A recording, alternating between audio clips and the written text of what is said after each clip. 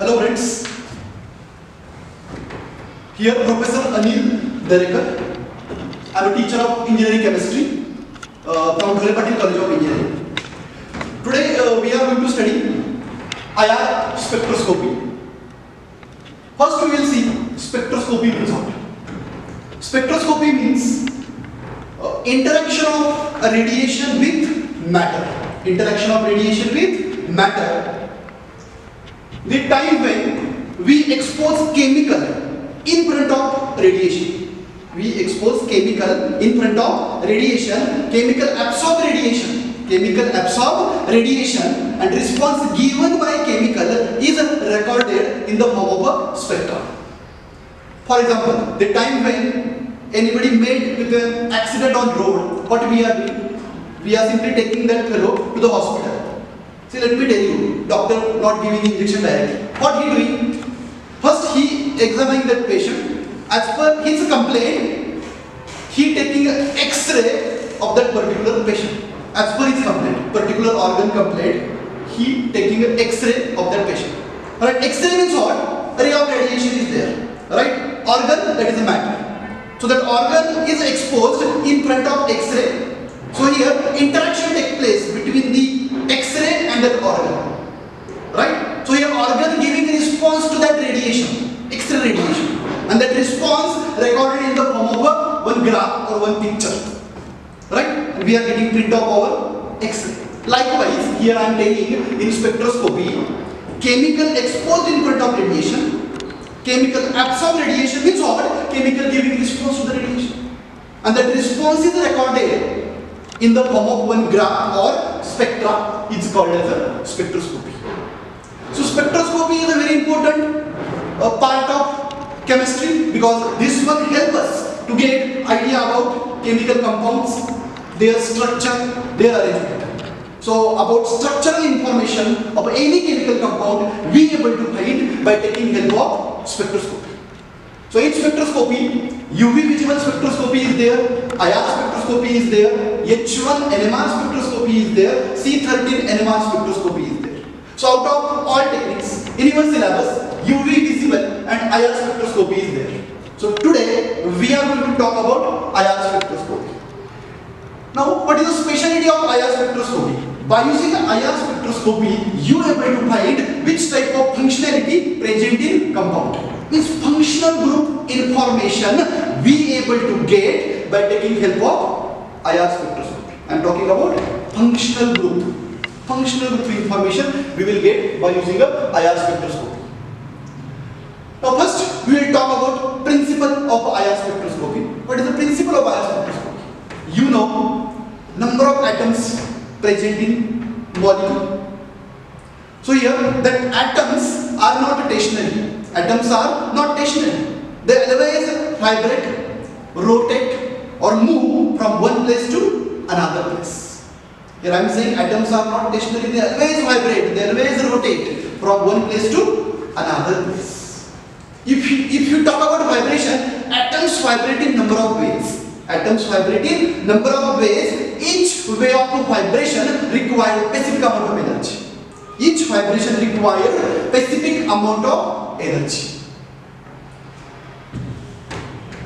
See the time when chemical is exposed in front of radiation, it absorbs energy from radiation and then it excited to higher vibrational energy level. It excited to higher vibrational energy level.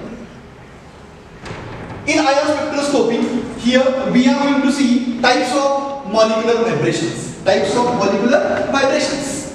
So if you see any molecule, covalent bond present between two atoms. Which bond present between two atoms? Covalent bond present between two atoms. Now that covalent bond is not rigid. Covalent bond is not rigid. That covalent bond is a flexible, elastic. You can say it is in the form of a spring. Covalent bond is in the form of a spring. Means we can stretch it, we can contract it right or that bond can bend. So here molecular vibrations classified into two types in that first one stretching vibrations and after this one we will study second one that is the bending vibrations. Now let us see first one. Stretching vibrations. Now what is meant by stretching vibration and how to characterize is stretching vibration take place. Now stretching vibrations characterized by change in internuclear distance between two atoms. What I am saying, stretching vibrations characterized by, how to characterize? By change in internuclear distance means distance between two atoms changes. That is what? Stretching vibrations. So here in stretching vibrations, distance between two atoms either increases or decreases. Distance between two atoms either increases or decreases. Stretching vibration classified into two types. In that first one is a symmetric stretching and second one asymmetric stretching. Now let us see first one. Symmetric stretching. Now what is meant by symmetric stretching? In symmetric stretching, bond length either increases or decreases. Here I am, I am saying in symmetric stretching, bond length either increases or decreases. Means distance between two atoms increases or decreases symmetrically. That increase or decrease is symmetrical in same direction. In same direction that is called as a symmetrical stretching. You observe this diagram, you will get clear idea. Here, distance between these two atoms as well as distance between two atoms same. So stretching is symmetrical. Symmetrical, right? Means here is in a same direction. Is in a same direction. Okay. In case of second type, that is asymmetric stretching. In asymmetric stretching, length of one bond increases, right? While another bond length decreases. In asymmetric stretching, length of one bond increases and other bond decreases. Means direction or you can say movement of atoms in opposite direction. Right? This one move up, this one move down. This one move up, this one move down. Right? Means one bond length increases, second bond length decreases. That is how asymmetric stretching. Okay students, just now I explained symmetrical stretching and second one asymmetrical stretching. Now I will show you demonstration that how symmetrical stretching take place and how asymmetrical stretching take place. For example, uh, these are the two hydrogen atoms and this one oxygen atom. Now see, symmetrical stretching as I said, bond length increases or decreases symmetrically bond length increases or decreases symmetrically. So this is what? This is a symmetrical stretching. Are you getting?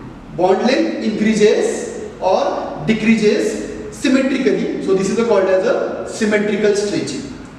In second case, second type we studied asymmetrical stretching. So asymmetrical stretching, one bond length means length of one bond increases, second one decreases length of one bond increases, second one decreases. So this is a asymmetrical stretching. Are you getting? One bond length increases, other bond length decreases. Okay, this is a asymmetrical stretching. Now, second type of vibrations we are going to see. First one we studied, that is the stretching vibrations. Now second one we are going to see, that is the bending vibrations. Now, how to characterize that bending vibrations take place? See, in case of stretching vibrations, we study internuclear distance changes. Internuclear distance changes. Now, in case of bending vibrations, bending vibrations characterized by change in bond angle. Change in bond angle in case of bending vibration. So, if bending take place, position of atoms changes with respect to original position. In case of bending, position of atoms changes with respect to original position. So because of that, it classified into four types. In that first one, scissoring vibrations, then rocking vibrations, then third one, wagging, and last one, twisting. Now, out of four, scissoring and rocking take place in plane. These two vibrations taking place in plane, while wagging and twisting take place out of the plane. So, first two in plane and last two out of plane. Let us see one by one. First one, scissoring. Now, you know scissor, how it work. Now, scissoring. In case of scissoring, atoms move. Atoms move in opposite direction. If you see this one, this one atom moving clockwise direction, this one moving anti-clockwise direction. So atoms move in opposite direction. Means you can say towards each other or away from each other. Toward each other or away from each other. In scissoring, bond angle decreases. In scissoring, bond angle decreases. Okay. Second one, rocking. Rocking vibration. Rocking chair, everyone know rocking chair. Now, in rocking vibrations, atoms move in same direction. In rocking vibrations, atoms move in same direction. Bond angle remain constant. In scissoring I bond angle decreases. In case of rocking, bond angle remain constant because atoms moving in same direction. Atoms moving in same direction. As you know rocking chair. Forward, backward. Forward, backward. Okay. This is a rocking. So try to understand difference between scissoring and rocking. In scissoring, atoms move in opposite direction. Direction is opposite. In case of rocking, movement of atoms in same direction. So atoms moving in same direction. Here atoms moving in opposite direction. Let us see one uh, demo. Uh, let us see demo of scissoring. How scissoring takes place. Now see, these are the two atoms, right, connected to the central atom.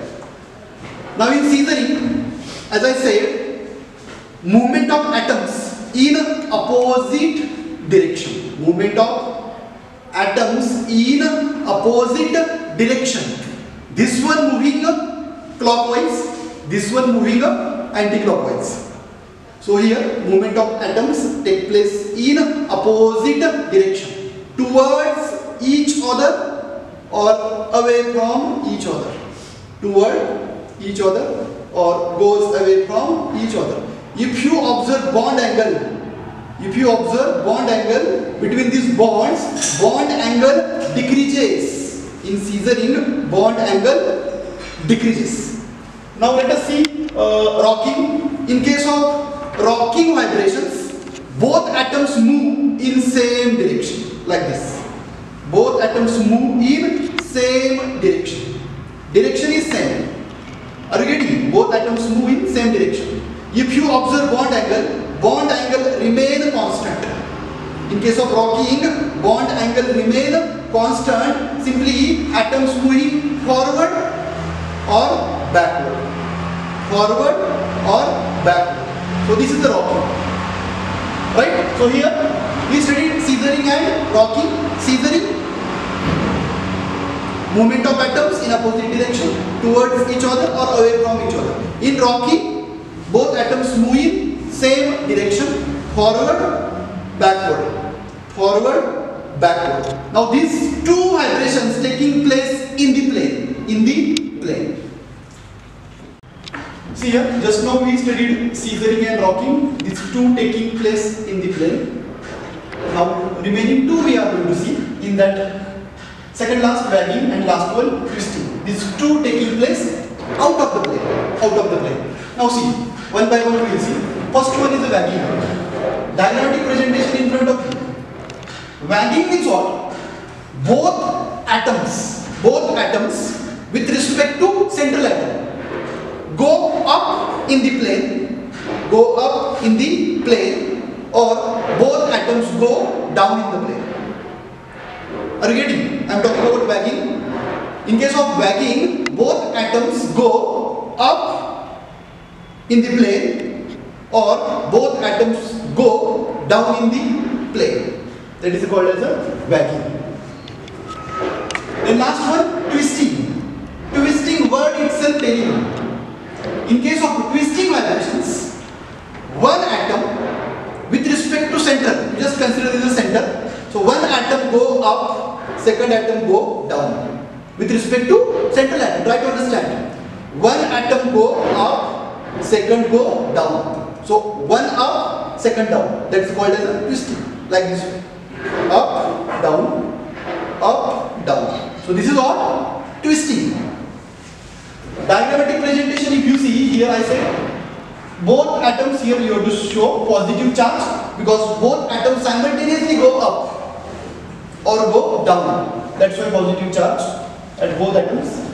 In twisting, at one atom negative charge you have to show and second atom you have to show positive charge. Why negative and positive? Because positive indicate atom move up, up the plane and second atom move down the plane. Up the plane, down the plane. Up the plane, down the plane. Okay, uh, let us see uh, demo. You can say demonstration of wagging and twisting. For example, this is our molecule. As I am saying, this molecule is in the plane. These are the two atoms, right, linked to central atom. Now, in case of wagging, both atoms move up in the plane or both atoms move down the plane. Are you getting? This is in the plane, both atoms go up the plane or both atoms move down the plane. This is what? Wagging. This is a wagging. Now, last one we are going to see that is the twisting. In case of twisting, one atom move above the plane while second move down the plane. So one molecule up the plane, second molecule move down the plane. You can say up down.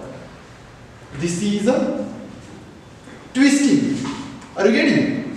Here I said one move up the plane, second move down the plane. So up down, up down, down. This is a twisting. Now let us uh, uh, take revision of all types of bending vibrations.